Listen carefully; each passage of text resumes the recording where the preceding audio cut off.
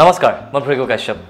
V K এণ্টাৰটেইনমেণ্টৰ এটা নতুন অনুষ্ঠান যদি মই প্ৰশ্ন কৰিলে আপোনালোক সকলোকে স্বাগতম জনাইছোঁ। অনুষ্ঠানটিৰ আৰম্ভণিতে কৈছোঁ যদি মই প্ৰশ্ন কৰোঁ অনুষ্ঠানটি হ'ব অলপ ব্যতিক্ৰম। কিয়নো এই অনুষ্ঠানটিত নাথাকিব কোনো ভিডিঅ' ব্লগ নাথাকিব কোনো গানৰ প্ৰমোশ্যন থাকিব কেৱল আপোনাৰ আৰু মোৰ মনত উদ্ভৱ হোৱা কিছুমান প্ৰশ্ন আৰু সেই প্ৰশ্নৰ উত্তৰ বিচাৰি মই উপস্থিত হৈছোঁ বৰ্তমান অসমৰ মন্ত্ৰী তথা বিজেপিৰ ৰাজ্যিক সভাপতি শ্ৰীযুত ৰঞ্জিত কুমাৰ দাসৰ ওচৰলৈ। আহকচোন আমি অনুষ্ঠানটি আৰম্ভ কৰোঁ। আৰু ফাইনেলি ভি কে এণ্টাৰটেইনমেণ্টৰ নতুন অনুষ্ঠান যদি মই প্ৰশ্ন কৰোঁ মঞ্চলে আমাৰ সকলোৰে পৰিচিত সকলোৰে শ্ৰদ্ধা ৰঞ্জিত কুমাৰ দাস ডাঙৰীয়াক স্বাগতম জনাইছোঁ। এটা নতুন অনুষ্ঠান আপোনাৰ জৰিয়তে আৰম্ভ কৰিবলৈ আমি পাই আমি সুখী হৈছোঁ। যে আমাৰ ব্যক্তিগত জীৱনত সাধাৰণ জনতাৰ মনত বহুখিনি প্ৰশ্ন থাকে যিহেতু আপোনালোক জনপ্ৰতিনিধি। ত' তাৰে কিছুমান প্ৰশ্ন মোৰ মনত উদ্ভৱ হোৱা কিছুমান প্ৰশ্ন মই আজি আপোনাৰ বাবে ট্ৰাই কৰি লৈ আহিছোঁ। যদি আপুনি পাৰ্মিশ্যন দিয়ে মই সুধিবলৈ বিচাৰে আমি দেখিবলৈ পাওঁ যে আপুনি খুব সোনকালে উঠে গতিকে মোৰ প্ৰথম প্ৰশ্নটো হ'ল ৰাতিপুৱা কেই বজাত আপুনি সাৰ পায়? মই সাধাৰণতে ৰাতিপুৱা ছয় বজাৰ আগত মই নুঠোঁ কাৰণ ছয় বজাতে উঠোঁ কাৰণ নিশা শুৱতে যিহেতু দেৰি হয় কাৰণ মই বাৰটা বজাৰ আগত কেতিয়া খোৱা নহয়। গতিকে মই টাইমটো মিলাই লওঁ মই পাঁচৰ পৰা ছয় ঘণ্টাৰ ভিতৰত পাঁচৰ পৰা ছয় ঘণ্টা? আচ্ছা। ঘণ্টা। অ'কে ডাঙৰ কথা এইটো আচলতে। কিমান সময় আপুনি এক্সাৰচাইজ কৰে? আমি দেখোঁ আপুনি যোগাসন কৰে। কিমান সময় এক্সাৰচাইজ কৰে ডেইলি আহ, সকলোবোৰ মিলি পেলাই মোৰ জুবিন বা খোজকঢ়া হওক বা বাকী ধৰক মানে শাৰীৰিক চৰ্চা কৰোঁ আৰু দহ মিনিট প্ৰাণায়াম কৰোঁ। সৰ্বমুঠ এঘণ্টা সময় মই নিজৰ শৰীৰটোৰ কাৰণে নিজৰ কাৰণে। শৰীৰ চৰ্চাটি দেখিছোঁ। ধন্যবাদ। আৰু তিনি নম্বৰ প্ৰশ্নটো হ'ল কি খাই দিনটো আৰম্ভণি কৰে আপুনি?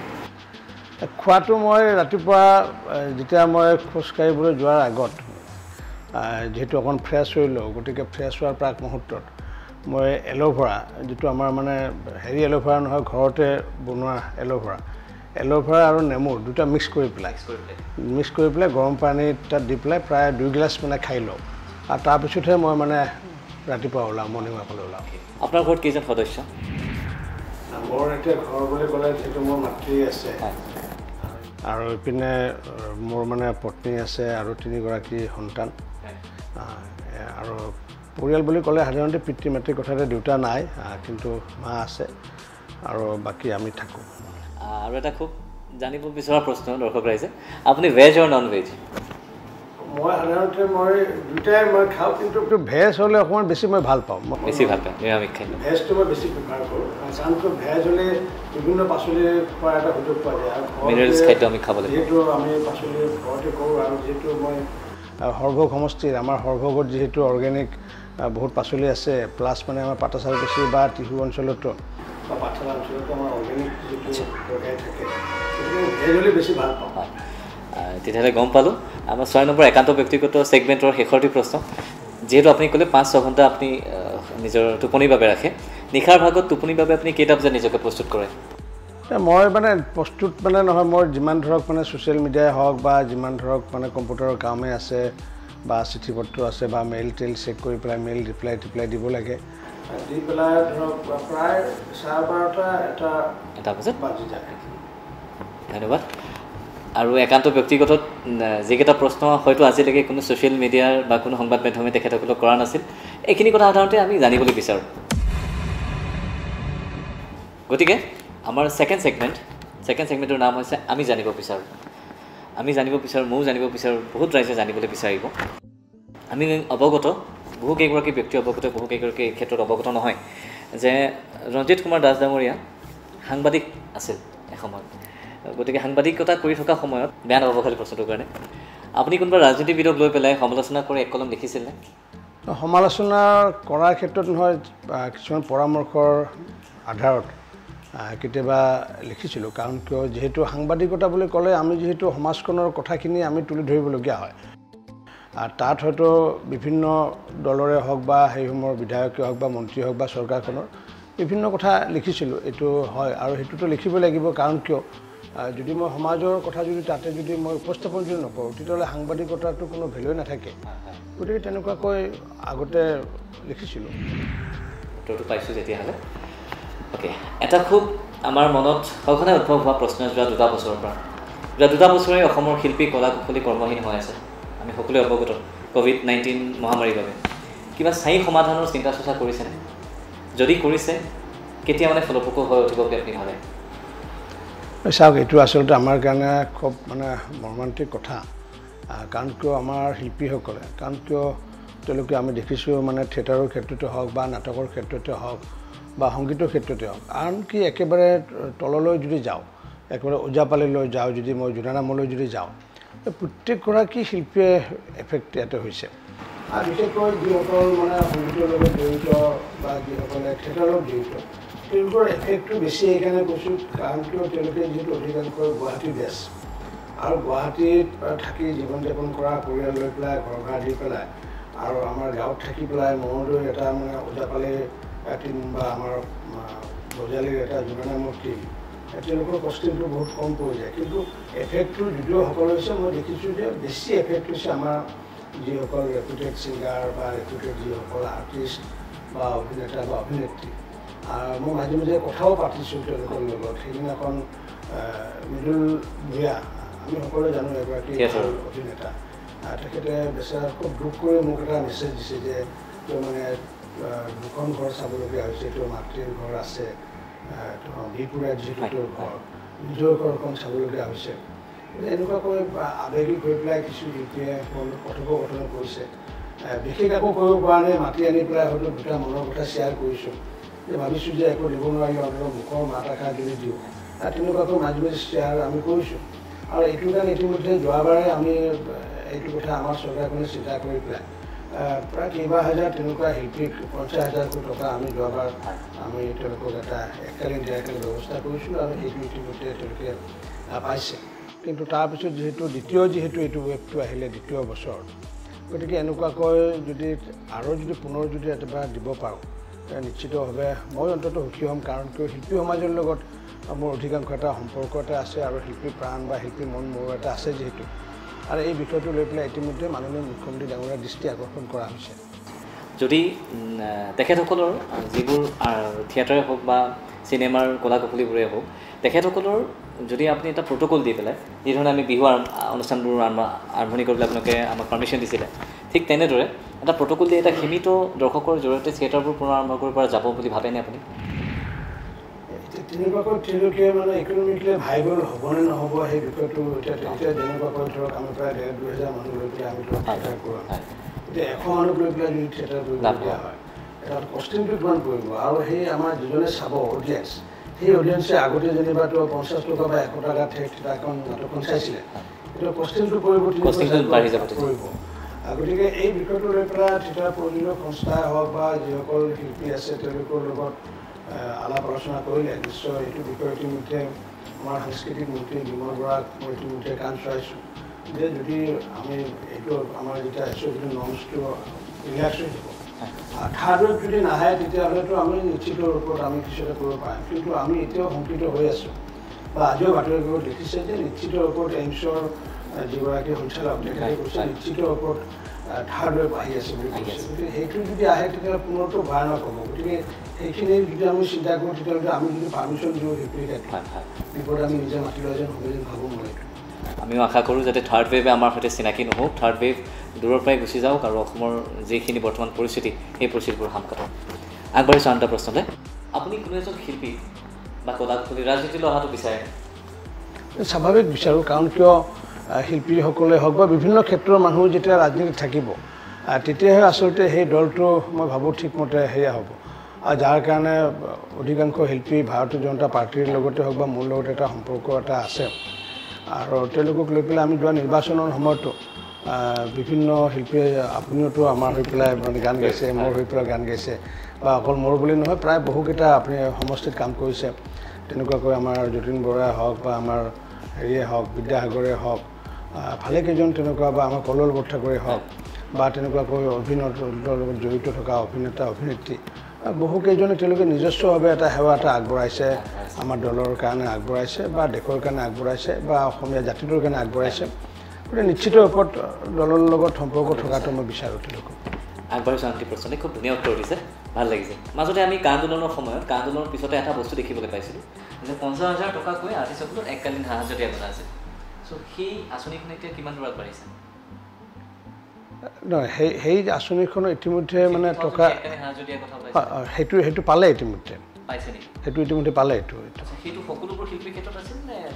নাই নাই যিবোৰ মানে আহ, মফচলীয় বা গ্ৰাম্যাঞ্চলৰ আছিল তেওঁলোকৰ ক্ষেত্ৰতহে এইটো আমি মানে দিছিলোঁ কাৰণ কিয় যিসকলে ধৰক এতিয়া আপোনালোকে এতিয়া ধৰক যিহেতু কম বেছি পৰিমাণে অঁ অঁ মানে এইটো সাধাৰণতে আমি মফচলীয় তেনেকুৱা ধৰণৰ যিবোৰ আছে বা গ্ৰাম্যাঞ্চলত আছে সেইটোৰ ক্ষেত্ৰতহে এইটো মানে প্ৰযোজ্য হৈছিলে।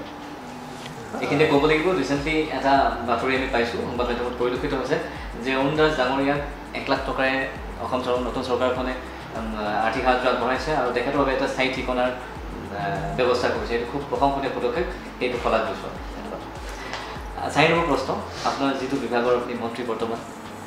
আমি মাজে সময়ত প্ৰায়ে দেখোঁ যে গ্ৰামাঞ্চলত ঘটি থকা যিবোৰ ডাইনী হত্যা অন্ধবিশ্বাস সেইবোৰ একেবাৰে নিৰ্মূল কৰিব পৰাকৈ। গ্ৰামাঞ্চলত আপুনি কিবা ব্যৱস্থা ল'ব নেকি?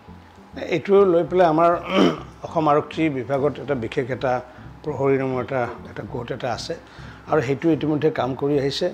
আমাৰ বিৰুবালা ৰাভাৰ আমি সকলোৱে নাম শুনিছোঁ। তেনেকুৱা বিভিন্ন এতিয়া দল সংগঠনে এইবোৰ অন্ধবিশ্বাস দূৰ কৰাৰ কাৰণে ইতিমধ্যে কাম কৰি আছে। আৰু ময়ো গ্ৰামোন্নয়ন পঞ্চায়ত বিভাগৰ মন্ত্ৰী হিচাপে তেওঁলোকক ইতিমধ্যে মই শলাগ লৈছোঁ আৰু আগন্তুক দিনত এই ক্ষেত্ৰতো আমি এৱাৰনেছ ক্ৰিয়েট কৰাৰ কাৰণে ব্যৱস্থা লৈছোঁ আমি। গতিকে মই ভাবোঁ প্ৰশাসন আৰু আৰক্ষীৰ তৎপৰতাত এই অন্ধবিশ্বাস তথা ডাইনী হত্যাকে আদি কৰি যিখিনি হ'বলগীয়া ঘটনা হৈ আছে গ্ৰামাঞ্চলবোৰত সেইবোৰ যাতে অতি সোনকালে নিৰ্মূল পাঁচ নম্বৰ প্ৰশ্নটি এনেকুৱা আমি জানিব বিচাৰোঁ ছেগমেণ্টৰ এক লাখ নিবনুৱাক সংস্থাপন দিয়াৰ যিটো আপোনালোকে পদক্ষেপ লৈছে অতি সোনকালেই সেয়া ৰিক্ৰুটমেণ্ট হ'ব বুলি আমি গম পাইছোঁ। গতিকে এইটো দুহেজাৰ একৈছতেই অসমবাসী ৰাইজে এক্সপেক্ট কৰিব পাৰে দুহেজাৰ একৈছৰ ভিতৰত। একৈছৰ মই হ'ব বুলি নকওঁ কাৰণ কিয়? এক লাখ যুৱকৰ কাৰণে ইণ্টাৰভিউ পাতিব লাগিলে। আল্টিমেটলি তাত কিমান লাখ যুৱক যুৱতী এপ্লাই কৰিব? আৰু আমি যিহেতু ইতিমধ্যে মেধাৰ আধাৰত দিম গতিকে মেধাৰ আধাৰত দিম যিহেতু হয়তো আমি মানে গ্ৰেড ৱাইজ হয়তো থাৰ্ড গ্ৰেডৰ কাৰণে বেলেগ এটা পৰীক্ষা হ'ব ফ'ৰ্থ গ্ৰেডৰ কাৰণে বেলেগ এটা পৰীক্ষা হ'ব। আৰু সেইবোৰৰ তাৰ আগে আগে আমি তেওঁলোকৰ কাৰণে অনলাইন এপ্লিকেশ্যন ল'ব লাগিব অফলাইন এপ্লিকেশ্যন ল'ব লাগিব। তাৰপিছত আকৌ নিৰীক্ষক ঠিক কৰিব লাগিব বিভিন্ন এটা দীঘলীয়া এটা প্ৰক্ৰিয়া। গতিকে সেই দীঘলীয়া প্ৰক্ৰিয়াটোৰ পিনে যদি চাওঁ তেতিয়া একৈছত যে আমি দিব পাৰিম এইটো মোৰ সন্দেহ আছে। কাৰণ কিয় আমি যদি ট্ৰেন্সপাৰেণ্ট মানে কৰিম বুলি ভাবিছোঁ স্বচ্ছতাৰ আধাৰত। গতিকে এইটো টাইম অকণমান লাগিব। কিন্তু আমি যে নিশ্চিতভাৱে দিম এক লাখক যে চাকৰি দিম নিশ্চিত। সেইটো সেইটো আমি কৰিম। এইটো তাত এটাও কাম কম নিদিওঁ আমি বেছিহে দিব পাৰিম। ইতিমধ্যে তেখেতে নতুন চৰকাৰখন অহাৰ পিছতে যিখিনি চেঞ্জেছ আহিছে আমি নিজেই দেখিছোঁ। সেয়া ড্ৰাগছে হওক বা গৰু চোৰাং ব্যৱসায়ে হওক দেখিছোঁ সেয়া সঁচাকৈ শলাগ আগবাঢ়িছোঁ ছয় নম্বৰ প্ৰশ্নটি আহ, খাদ্য আৰু যোগান মন্ত্ৰী হিচাপে মূল্য বৃদ্ধিৰ ক্ষেত্ৰত কি ক'ব? চাওক মূল্যবৃদ্ধিটো বিভিন্ন বিষয়ত ডিপেণ্ড কৰে কাৰণ কিয় এইটো প্ৰথম কথা আহি পৰে মানে ডিমাণ্ড এণ্ড ছাপ্লাই কাৰণ প্ৰতিদিনে আগতে গুৱাহাটীত ছেভেন থাউজেণ্ড ট্ৰাক আহিছিলে। গুৱাহাটী হৈ পেলাই। তাৰমানে ছেভেন থাউজেণ্ড ট্ৰাক আহিছিলে মানে কি খাদ্য সামগ্ৰী আহিছিলে। গতিকে সেইবোৰ এতিয়া কমিছে এতিয়া। এতিয়া এটা কথা ক'ব বিচাৰিব নেকি? মিঠাতেলৰ যি দাম বাঢ়িছে বুলি আমি পাইছোঁ বা আমি নিজেও গম পাইছোঁ ত' সেই ক্ষেত্ৰত ব্লেণ্ডিঙত কিবা অসুবিধা আছে নেকি? ব্লেণ্ডিঙৰ কাৰণে দাম বাঢ়ি গ'ল। বা ব্লেণ্ডিং আগতে চাওক টুৱেণ্টি পাৰ্চেণ্ট তাতে চয়াল মিক্স কৰিছে। চয়ালৰ দামটো কম। গতিকে দামটো যেতিয়া কম দামৰ সামগ্ৰী যেতিয়া মিক্স থাকে হয়। এতিয়া সেই বস্তু সেই সামগ্ৰী তাৰ পৰা যিটো উদ্যোগ কৰিলে তাতে হাণ্ড্ৰেড এশ শতাংশ যিটো মিঠাতেল দিবলগীয়া হয় আচ্ছা। গতিকে দামটো তাত বাঢ়িছে। আৰু এইটো মানে বেন কৰিছে গভমেণ্ট অফ ইণ্ডিয়াই যে এতিয়া এইটো মানে যোৱা জুন মাহৰ পৰা দুহেজাৰ বিছ চনৰ জুন মাহলৈ আমাৰ এশ বিছ টকাত আমি তেল পাই আছিলোঁ কিন্তু দিনক দিনে যেতিয়া এইটো ব্লেণ্ডিংটো বন্ধ কৰিলে নৱেম্বৰলৈ নৱেম্বৰৰ পিছৰ পৰা এইটো দামটো বাঢ়ি আহিলে। আৰু এতিয়া বাঢ়ি আহি আছে। কিন্তু আগন্তুক দিনত যেতিয়া মাষ্টাৰশ্বিপ প্ৰডাকশ্যন যেতিয়া বেছি হ'ব। বা যদি এক্সপৰ্ট যদি ডিউটি যদি আমি যদি কমাই যদি দিয়ে ভাৰত চৰকাৰে তেতিয়াহ'লে হয়তো কিছু কমাৰ সম্ভাৱনা আছে। কিন্তু এই মুহূৰ্তততো মই দেখিছোঁ ভাৰতবৰ্ষত এইটো অকল অসমত বঢ়া নাই সমগ্ৰ ভাৰতবৰ্ষতে বাঢ়িছে। তাৰ ভিতৰত কেতিয়াবা কমে যদি আকৌ গ্ৰাহকে গম নাপায়। কাৰণ তাত এম আৰ পি লিখা থাকে। এম আৰ পি হ'ল তাৰ আপোনাৰ এম আৰ পি মানে হৈছে মেক্সিমাম ৰিটেল প্ৰাইচ। লাডাখতে হওক বা অৰুণাচলতে হওক বা আমাৰ একেবাৰে শদিয়াত মেক্সিমাম মানে সেই দামটোহে ল'ব সেই দামটো। কিন্তু সেই দামতকৈ যদি কমি থাকে মানে এইটো বাৰ্গেনিং নকৰে আমি নকৰোঁ এইটো চবা আচলতে আজিহে গম পালোঁ মই কথা অঁ এইটো কথা ময়ো আগতে গম পোৱা নাছিলোঁ। মই যোগান আচ্ছা। মন্ত্ৰী হোৱাৰ আগতে ময়ো গম পোৱা নাছিলোঁ। এম আৰ পিত বাৰ্গেনিং হয় নেকি? এম আৰ পি বাৰ্গেনিং হয়। এম আৰ পি মানে কি? এম আৰ পি মানে মেক্সিমাম ৰিটেল প্ৰাইচ সমগ্ৰ ভাৰতবৰ্ষত তাৰমানে সেইটোৰ ওপৰত হ'ব নোৱাৰে। সেইটোৰ ওপৰত কোনোবাই ল'লে অফেন্স হ'ব পাৰে। কিন্তু সেইটোৰ তলতো যে বিক্ৰী হয় আচ্ছা। যেতিয়া প্ৰডাকশ্যন যেতিয়া বাঢ়ি থাকে তেতিয়া তাহাঁতৰ লেভেলটো যদি দুশ পঁয়ষষ্ঠি। থাকে। তেতিয়া সেইটোতে বিক্ৰী কৰে। কিন্তু তাত তুলনাত আমি দেখিছোঁ যে তেতিয়া কমতো বিক্ৰী. কৰে গতিকে এম আৰ পি মানে এইটো ফিক্স নহয় এইটো ৰাইজেও আচলতে মাৰ্কেট চাই পেলাই। প্ৰডাকশ্যন চাই। পেলাই বাৰ্গেনিং কৰিব পাৰে আমি সাধাৰণতে আমি নকৰোঁ। অসমীয়া মানুহে বা অসমৰ মানুহে নকৰে। এইটো কিছুমান ৰাইজ অৱগত নহয়। চ' এই ক্ষেত্ৰত এটা উদাহৰণ দিবলৈ বিচাৰোঁ যে পেট্ৰল আৰু ডিজেলৰ দাম বাঢ়িলে আমি এইটো কাৰণেই গম পাওঁ বিকজ এভৰিডে যেতিয়া তেলৰ দাম বাঢ়ে বা কমে তাতে উল্লেখিত থাকে। কিন্তু এম আৰ পি যেতিয়া এটা প্ৰডাক্ট একেবাৰে আপোনাৰ আপোনাৰ বাবে ডেলিভাৰ হয় সেইখিনি সময়ত হয়তো সেই প্ৰিণ্টিঙত থকা বস্তুটো ছমাহৰ আগলৈকে বিক্ৰী নহ'ব পাৰে। ছমাহৰ পিছত বিক্ৰী হৈ যাব পাৰে। গতিকে যদি আপোনাৰ আপুনি যদি ভাবে যে আপুনি পিত বাৰ্গেনিং কৰিম তেতিয়াহ'লে গুগল কৰি মাৰ্কেট প্ৰাইচটো চাই you can. Do it right Bargaining. Okay গম পালোঁ তেতিয়াহ'লে এইটো কথা। বিগত দিনবোৰত জনস্বাস্থ্য আৰু কাৰিকৰী বিভাগটোলৈ যথেষ্ট বিতৰ্ক হোৱা দেখা যায় যে ক'ৰবাত অনিয়ম চলিছে ক'ৰবাত নহ'বলগীয়া ঘটনা হৈছে। গতিকে এই নতুন চৰকাৰখনে যিহেতু এটা নতুন ৰেঙনি দেখুৱাইছে অসমৰ ৰাইজখনক গতিকে আপোনাৰ ফালৰ পৰা কি ধৰণৰ পদক্ষেপে প্ৰথমে হস্তক্ষেপ কৰিব তাত? আমাৰ দিনত আমি প্ৰত্যেকগৰাকী গ্ৰাম্যাঞ্চলত থকা প্ৰত্যেকগৰাকীৰ ঘৰত আমি পানী যোগান দিম। সেইটো আমি নিশ্চিত কৰিছোঁ। প্ৰত্যেকগৰাকী ঘৰত আমি পানী যোগান দিম গ্ৰাম্যাঞ্চলত আচ্ছা। কাৰণ গুৰুত্বপূৰ্ণ কথা। জল জীৱন মিছনৰ কাৰণে ইতিমধ্যে ভাৰত চৰকাৰে এইটো অকল আমাৰ অসমতে নহয় সমগ্ৰ ভাৰতবৰ্ষতে এনেকুৱা এটা আঁচনি লৈছে। আৰু যি আঁচনিৰ জৰিয়তে ইতিমধ্যে আমি অসমতো কাম কাজ আৰম্ভ কৰিছোঁ। দুহেজাৰ চৌব্বিছ চনৰ ভিতৰত প্ৰত্যেক ঘৰৰ মানুহে ঘৰত তেওঁলোকে পানী পাব। কিন্তু সেই পানীটোৰ কাৰণে আমি ভাৰত চৰকাৰে টকা দিব ইমপ্লিমেণ্ট কৰিম অসম চৰকাৰে আৰু ভৱিষ্যতলৈ মেইনটেনেঞ্চ আচ্ছা। ভৱিষ্যতলৈ মেইনটেনেঞ্চ. কৰিব লাগিব পঞ্চায়তে কৰিব লাগিব বা ইউজাৰ্ছ কমিটি কৰিব লাগিব।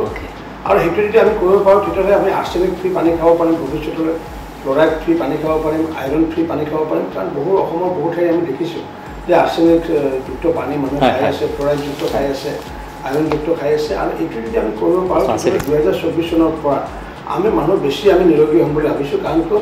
মেক্সিমাম বেমাৰ যদি আহে তেতিয়াহ'লে পানীৰ কাৰণে আহে। পানীৰ কাৰণে। গতিকে আমি বিশুদ্ধ পানী যেতিয়া খাম বেক্টেৰিয়া ফ্ৰী পানী যেতিয়া খাম ভাইৰাছ ফ্ৰী পানী যেতিয়া খাম নিশ্চিত ওপৰত মানুহে সফল পাব বুলি মই আশা ৰাখিছোঁ।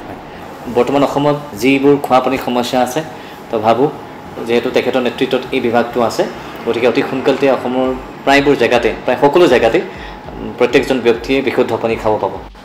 মই আশা ৰাখিছোঁ। প্ৰত্যেকটো দলৰ প্ৰত্যেকটো ৰাজনৈতিক দলৰ একোটা একো দলীয় নীতি থাকে। কংগ্ৰেছৰ এটা নীতি ইউ পি পি এলৰ এটা নীতি বিজেপিৰ এটা নীতি আমি জানিছিলোঁ যেতিয়াৰ পৰা পলিটিক্স কি বুজি পোৱা হৈছিলোঁ।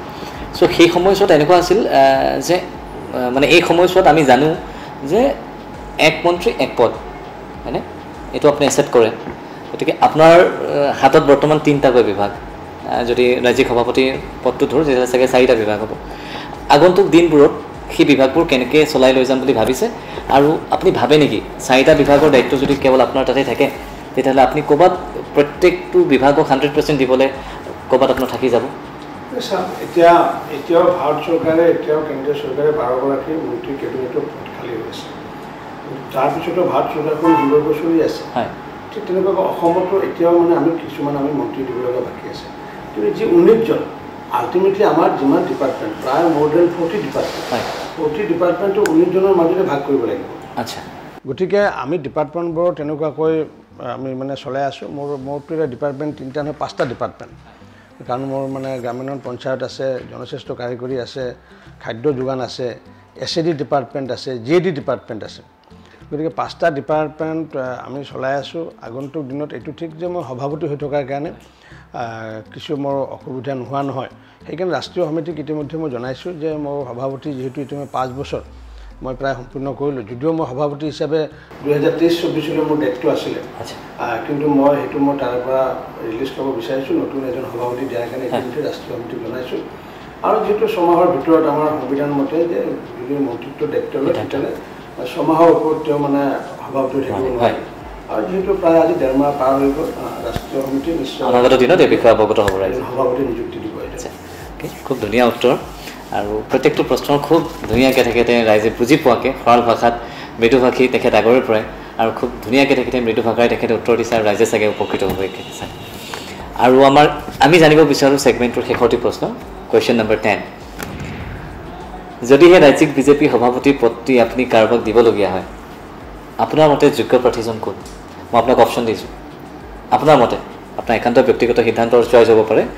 ৰঞ্জিত দত্ত ভৱেশ কলিতা জয়ন্ত মল্ল বৰুৱা পীয়ুষ হাজৰিকা ডাঙৰীয়া আৰু অসমৰ প্ৰাক্তন মুখ্যমন্ত্ৰী সৰ্বানন্দ সোণোৱাল ডাঙৰীয়া। আপোনাৰ মতে প্ৰকৃত যোগ্য প্ৰাৰ্থীজন কোন? ভাৰতীয় জনতা পাৰ্টীৰ কোনো ধৰণৰ ব্যক্তিগত চিন্তা বা একক চিন্তাৰে আমি কোনো কাম নকৰোঁ। ভাৰতীয় জনতা পাৰ্টীয়ে যি সিদ্ধান্ত লয় উমৈহতীয়া সিদ্ধান্ত লয়। আনকি আপুনি জানি আচৰিত হ'ব মাননীয় নৰেন্দ্ৰ মোদী ডাঙৰীয়াই যেতিয়া প্ৰধানমন্ত্ৰী হিচাপে। প্ৰক্ষেপ কৰিলে প্ৰক্ষেপ কৰাৰ প্ৰাক মুহূৰ্তত সমগ্ৰ ভাৰতবৰ্ষত ছিক্সটি ফ'ৰ থাউজেণ্ড মানুহৰ লগত আলোচনা কৰিছে। Sixty four thousand? থাউজেণ্ড মানুহৰ লগত ফিডবেক লৈ পেলাই তেখেতক মানে কেম্পিং কমিটিৰ চেয়াৰমেনৰ দায়িত্ব দিছে অৰ্থাৎ কি প্ৰাইম মিনিষ্টাৰে প্ৰজেক্ট কৰিছে। গতিকে ঠিক তেনেকুৱাকৈ মই যেতিয়া স্পীকাৰ আছিলোঁ অসম বিধানৰ অধ্যক্ষ আছিলোঁ তেতিয়া চাৰিগৰাকীৰ নাম চলি আছিলে। কিন্তু মোক হঠাৎ দিল্লীলৈ মাতি লৈ গ'ল ৰাষ্ট্ৰীয় সভাপতি আৰু ৰাষ্ট্ৰীয় সংগঠন সাধাৰণ সম্পাদক। কিন্তু এই সময়ত আমি বহুতখিনি কথা ভাবি চিন্তি দেখিছোঁ বিভিন্ন মানুহৰ লগত আমি আলাপ আলোচনা কৰিছোঁ। বিচাৰ পৰিবাৰৰ লগত আলাপ আলোচনা কৰিছোঁ কৰাৰ পিছত আপোনাৰ কথাটো কৈছে গতিকে আপুনি অধ্যক্ষ পদ এৰি দিব লাগে এৰি দি পেলাই আপুনি সভাপতি দায়িত্ব ল'ব লাগে। মই মই সেইটো অৱগত নাছিলোঁ মই নহয় কোনেও নাছিলে। যেতিয়া মোক যেতিয়া ক'লে আৰু দলে যেতিয়া দায়িত্ব দিয়ে সেয়া যি দায়িত্ব নহওক কিয় সেয়া ৰাজ্যিক সভাপতিয়ে হওক বা মুখ্যমন্ত্ৰীয়ে হওক বা স্পীকাৰে হওক বা মণ্ডল সভাপতি হওক দায়িত্ব মানে দায়িত্বই। আৰু দলে যেতিয়া দায়িত্ব দিয়ে আমাৰ ভাৰতীয় জনতা পাৰ্টীটো ছিষ্টেম তাত কোনো ধৰণৰ অসন্তুষ্টিৰ কোনো স্থান নাই তাত। দায়িত্ব বুলি ক'লে আমি এইটো মহান এটা কৰ্তব্য বুলি মই ভাবোঁ। আৰু মই লগে লগে মই ক'লোঁ ঠিক আছে তেতিয়াহ'লে মই এইটো মানে মই ৰাইজক অকণমান সুধি চাম। তেওঁ নাই নাই ৰাইজক সোধাৰ কোনো প্ৰয়োজন নাই। যিহেতু আমি দলে সিদ্ধান্ত লৈছোঁ গতিকে আপুনি সিদ্ধান্তটো মানে সোনকালে দিব লাগে। অৱশেষত মই সিদিনাখনে সিদ্ধান্ত দি দিলোঁ যে ঠিক আছে দলে সিদ্ধান্ত লৈছে যিহেতু। গতিকে যি চাৰিগৰাকীৰ নাম আছিলে সেই চাৰিগৰাকীৰ সভাপতি হোৱা নাই। এতিয়া আপোনাৰ যিকেইটা নাম আছে সেইকেইটা নহ'ব পাৰে হয়তো। বুজা নাই? সেইকাৰণে চ' ভিউৱাৰ্ছ আগবাঢ়িছোঁ আমাৰ অন্তিমটো ছেগমেণ্টলৈকে য'ত আছে ৰেপিড ফায়াৰ ৰাউণ্ড মোৰ তেখেতলৈ আছে কেইটামান ডিপ্ল'মেটিক নহয় খালি ওৱান ৱৰ্ডত আপুনি আনচাৰ কৰিব লাগিব। হয়তো এনেকুৱা ধৰণৰ ধেমেলীয়া প্ৰশ্নৰ শিতান আপুনি কেতিয়াও পোৱাও নাই। প্ৰত্যেকটো অনুষ্ঠান চাওঁ আপোনাৰ প্ৰত্যেকটো ক্ষেত্ৰতেই ছিৰিয়াছ কথা হৈ থাকে। আমি জানিব লাগে ছিৰিয়াছ কথা কিছুমান। কিন্তু এনেকুৱা কিছুমান প্ৰশ্ন আছে যিখিনি ৰাইজে জানিবলৈ বিচাৰে। তাৰ আৰম্ভ কৰোঁ। Rapid fire question number one প্ৰিয় শিল্পী আপোনাৰ? এতিয়া জীৱিত নে হেৰিয়া আপোনাৰ স্বেচ্ছাৰে কৰিব অতীত বা বৰ্তমান পাতিব মোৰ প্ৰিয় শিল্পী যদি মই যদি ক'ব যাওঁ শিল্পী বুলি ক'লে অসমত এগৰাকী শিল্পী আছিলে যিয়ে নেকি সংগীতৰ ছটা উপকলা জানিছিলে। পৃথিৱীত কোনো নাই তেনেকুৱা। অৰ্থাৎ যিয়ে নেকি লিখিছিলে যিয়ে সুৰ দিছিলে যিয়ে কণ্ঠ দিলে যিয়ে স্বৰলিপি লিখিলে আৰু যিয়ে বাদ্যযন্ত্ৰ বজালে আৰু যিয়ে সেই বাদ্যযন্ত্ৰৰ লগত একেলগে তেওঁ নৃত্যশৈল্য কৰিছিলে তেনেকুৱা শিল্পী বিশ্বত এগৰাকী আছে সেইগৰাকী হৈছে জগতগুৰু শ্ৰীমন্ত শংকৰদেৱ। গতিকে প্ৰিয় শিল্পী বুলি মই শংকৰদেৱকে মই স্বীকৃতি দিওঁ। প্ৰিয় শব্দ? আপোনাৰ প্ৰিয় শব্দ কি? আহ, মানে শব্দটো মানে আপুনি মানে কোনটো চেঞ্চত মানে যেনেকৈ ধৰি লওক মা হ'ব পাৰে ৰাজনীতি হ'ব পাৰে দেউতা হ'ব পাৰে আপোনাক কোনটো শব্দ আপোনাৰ আটাইতকৈ প্ৰিয়? আমাৰ সকলো এটা প্ৰিয় শব্দ থাকে? প্ৰিয় শব্দটো মোৰ মাতৃভূমি. প্ৰিয় ঠাই নে পাতা চাৰ্ভিছ প্ৰিয় ঠাই যদি মই কওঁ তেতিয়াহ'লে মই হাফলং ক'ব লাগিব।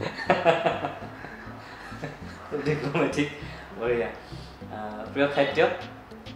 প্ৰিয় খাদ্য মানে আমাৰ যি নিৰামিষ যি মানে পাচলি পাচলি বেছিকৈ খাই মই ভাল পাওঁ। প্ৰিয় উৎসৱ? প্ৰিয়? প্ৰিয় ফেষ্টিভেল প্ৰিয় ফেষ্টিভেল বুলি মই ক'লে সাধাৰণতে মই মানে দৌলটোকে মই ভাবোঁ। দৌল উৎসৱটো প্ৰিয় ফেষ্টিভেল বুলি মই ভাবোঁ।